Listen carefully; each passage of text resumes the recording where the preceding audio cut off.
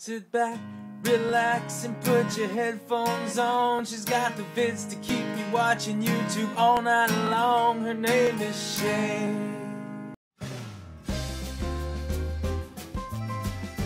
Here's another episode on being Japanese American.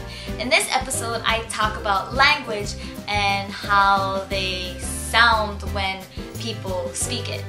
I'm told that when I speak Japanese, I sound very gentle and kind and roundabout, whereas when I speak English, I'm very harsh and direct and not so kind. And my opinion is that it's because of how the language sounds as well as word choices that are available. What are your thoughts? How do you feel when you hear Japanese and when you hear English? And that's it for today. See you!